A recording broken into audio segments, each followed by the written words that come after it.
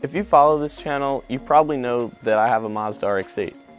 But I've never really mentioned on the channel the life story of the car. When did I get it? Where did I get it? What have I done to it even before I started the YouTube channel? Well today, I'm going to tell you the full life story of my Mazda RX-8.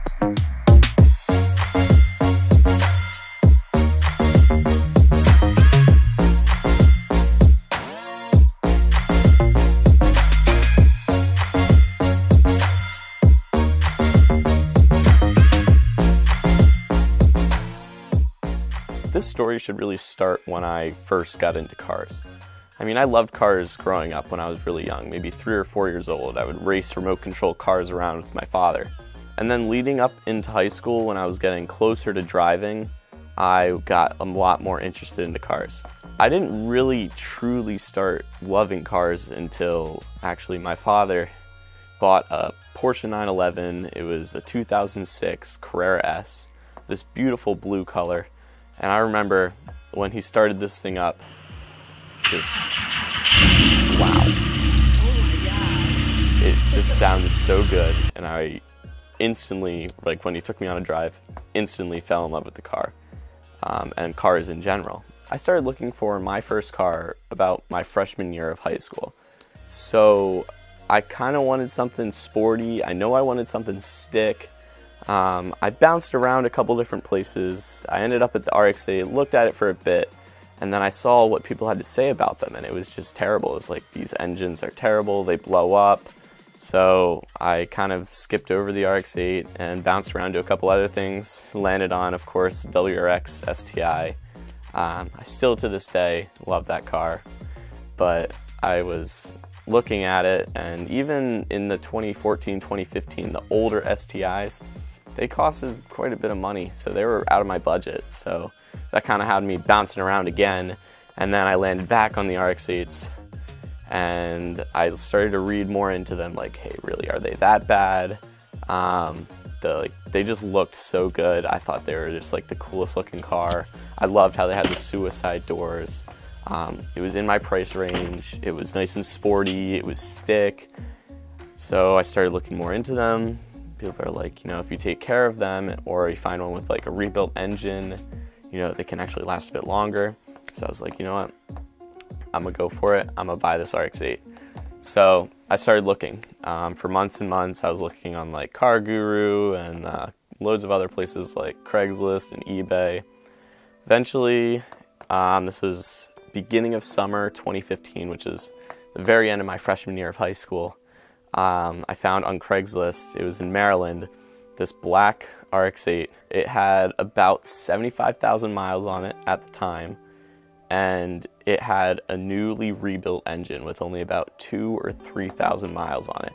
So I was like, this thing is gonna be perfect. A new engine, it's gonna last like plenty of time for me. Like this is exactly what I need. And it was listed for a pretty good price. I don't really remember exactly what it was. So I go over there, I go down with both my parents because I'm still, I'm 15, I can't drive yet. Um, but like I knew I just had to have this car. So we bought the car and then he had a lot of extra parts for it.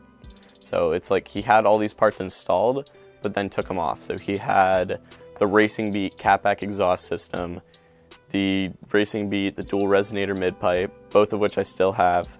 He had an extra set of wheels, the Cobb Accessport, and JIC Magic coilovers. So he's like, you know what, I'll uh, throw all these in with the car, which was completely stock at this time, um, for like a super low price. And I was like, I'm doing this. so we got everything. Um, it was super cool, and that's actually what got me into modding the car. I instantly fell in love with this car. I washed it, snapped a couple pictures of it, thought it was the coolest looking thing ever. So the funny thing is I installed like the Racing Beat exhaust, I did the Cobb Accessport, I did the tune on it, I did the JIC Magic coilovers, lowered it. I did all that before I could even legally drive. I mean, I knew how to drive stick, don't ask me how, but I was driving this thing like just around the neighborhood um, and I was just like, I cannot wait till I get my driver's permit when I turn 16 and just start driving this thing because it was just so much fun. So I did the rear wing. It was like a carbon fiber M1 speed wing. Um, I had a front lip. It was a Seibon carbon fiber front lip. Um, and then I had those, I ran those for a while on the stock wheels. And then I plasti dipped the wheels for my winter wheels, like a gunmetal gray. And then after doing that for a while, I got the Enkei wheels, um, which are the ones that are probably most known for on my car. Um, the 18 inch wheels, they're just stock fitment and everything. Um, and then I ran like Pirelli, like P0 Nero tires on those. And then I had a Duraflex Vader side skirt, and I did a two-tone paint job on it, like black and silver. Messed it out. First spray paint job I really did for the car. Um, it actually turned out pretty good. And this setup with the side skirts, the lip, the wing, and the wheels lowered on the coilovers, this is the setup that I ran for the longest time. I mean, in so many of my videos, you'll see it. And then in the winter, I would switch out the wheels. So, I mean, you guys are probably pretty familiar with this setup. I think it looked great. I still think it looks awesome. Um, and then I kind of messed up my front lip. So I got a new one from eBay, and then that's kind of when everything just started to fall apart. So eventually just took the lip off, ran no lip. So then I got the M1 bumper, the new bumper. It has some bigger cooling things, and I thought it looked a lot better after I had some problems with my old front bumper. It was kind of broken, and I just got rid of it.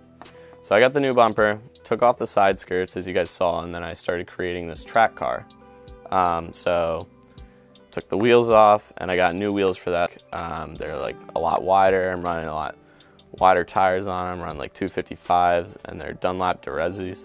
So uh, I have all videos of those. But um, yeah, that's about the final stage of where the car is right now. So yeah, that is the entire life story of my car. I've had it for almost five years now. It has been so much fun, and I hope all of you guys have a similar awesome story with your Mazda RX-8s. Hopefully you guys enjoyed this video. If you did, please leave a like, a comment, and subscribe, and I will see you in the next one.